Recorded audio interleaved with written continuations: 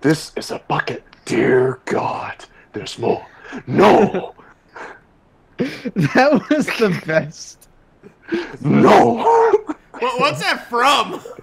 that was from Team Fortress TF2. 2. Which, which which one? That was the one with the uh, the doctor explains that they only had three days to live because they were eating some sort of Oh, okay. bacterial bread. There- That was yeah, the there was greatest. radio radioactive. I've done nothing but Yeah. teleport bread for the last three days.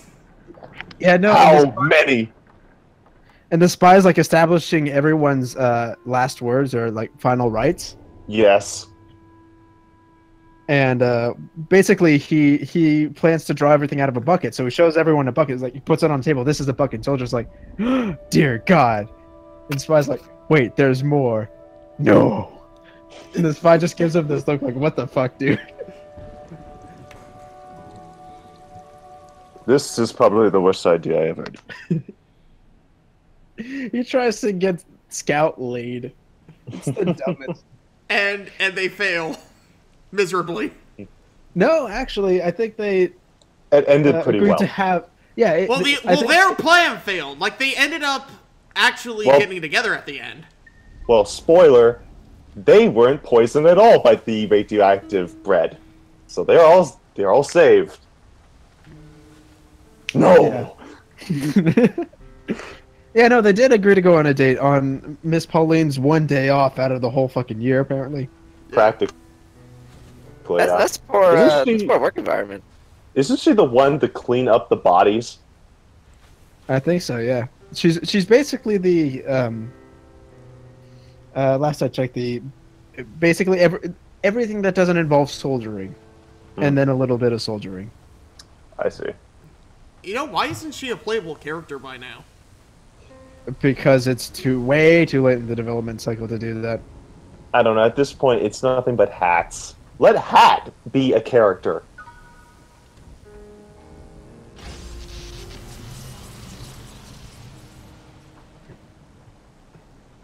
Yeah, It went no, from- like It went from being a scary girder to a not so scary girder. Oh, is Yeah. the Iron Giant here? All right, complaining to the Lorax is something that I don't like about uh, modern day environmentalist messages is that they don't say anything new or bring anything new to the table. Like we know the environment is being harmed by humans. We get that.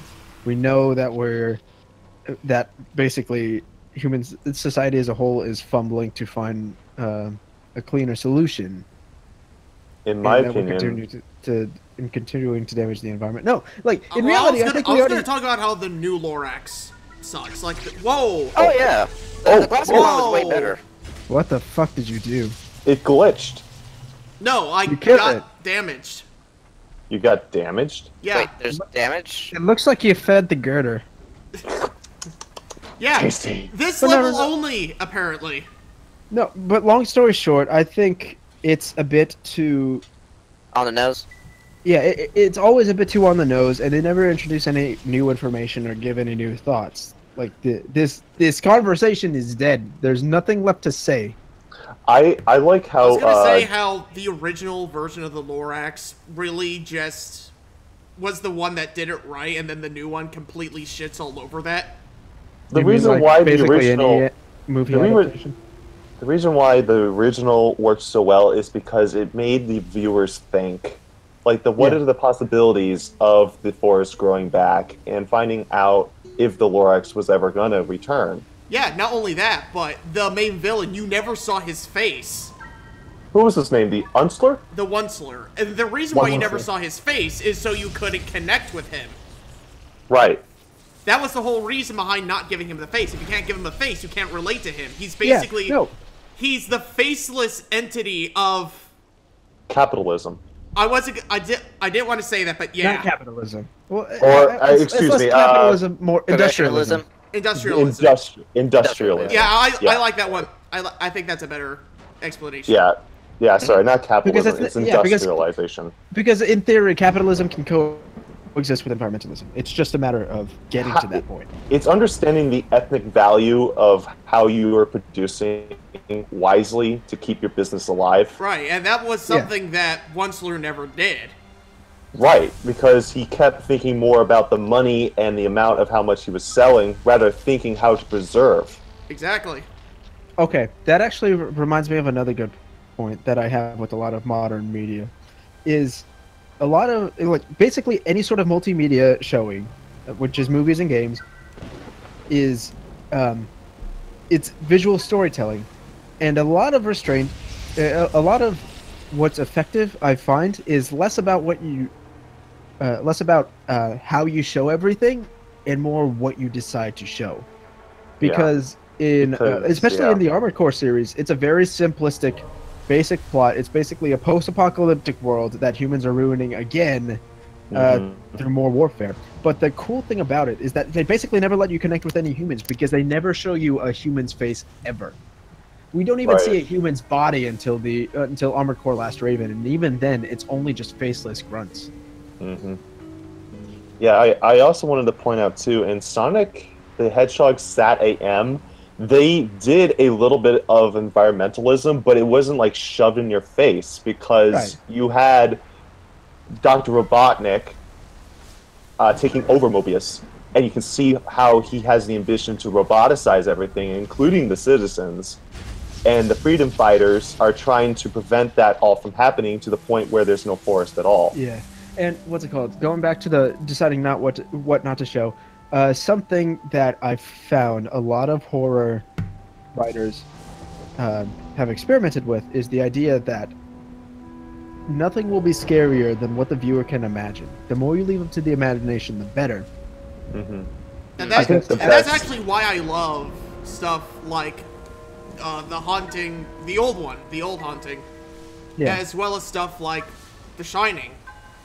yeah, I, I think when it comes to the environmental movies, I think my favorite one would be The Day After Tomorrow. The fact how nature is practically more powerful than you could possibly imagine.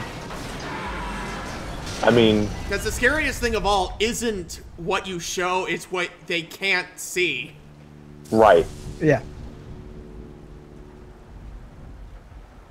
No, it's just things that you wouldn't even have a second thought. Right, because uh, what's it called? A lot of, a lot of amazing storyteller writers found out that nothing w- ever will trump humanity's fear of the unknown, ever. Mhm. And that is, to to a lot of people, the scariest thing ever. Oh yeah, the unknown is something, like it's it's an endless void of nothingness. Yeah, e- even if something's there, like something can be explained in great detail, but until you see it for yourself, you're scared of it. Exactly. It's an abstract concept that you can literally only define by not showing it. Yeah. Please follow us through with these Zen riddles. What is so hot? It's cool. It's cool. It's hot. Pop Tarts. Pop tarts. Damn it. This is like you put a, um, a freezer burrito in the microwave. It's frozen. It's frozen. It's frozen. It's cold. It's cold. It's cold. It exploded. It's Elsa. You ruined it. you ruined it. You ruined everything.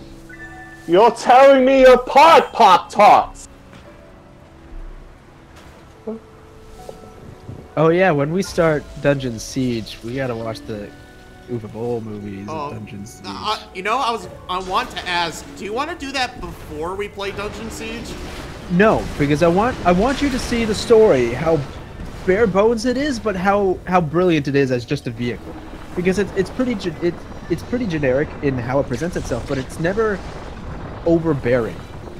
It is never in your face. This is like it, they they established the the exposition in this nice, beautifully shot uh, detail over narration. Like you, they're describing like a war that happened like 500 years ago, and all all you see is just bodies and corpses and just the the ruins of an ancient battlefield. And I think that's great. And then all of a sudden, you just see a farmer who's just tilling the fields, and all of a sudden he sees something, throws it down his hoe, and goes to run towards his friend who's dying. And that's the beginning of the game, and I think that's fantastic. And and then the Uwe Boll movie, your main character, who is a farmer, is named Farmer. let me let me let me Wow, that Let is me some add- great writing. let me add Continue. let me add more context to this. Jason Statham, the the at the time who was the pinnacle of action, like the pinnacle of action movie protagonists, was playing a farmer named Farmer in a high fantasy setting that made no sense. I bet, Hello, he, I bet everybody. he teams up with Paladin and Wizard and No. Knight. Surprisingly enough, he he does team up with some of the characters in the game. I, I've only read the plot synopsis. I haven't seen the movie, and I haven't spoiled the ending for myself. So there are things for me to react to, but it's from what I've read, it's fucking awful. And judging by the reviews, it only gets worse Oh, because boy, there's three can't, movies. I can't wait to see this. Yeah, Slacker, Oh. you'll be playing you'll be playing Dungeon Siege 2 and 3 with me and parts of Dungeon Siege 1.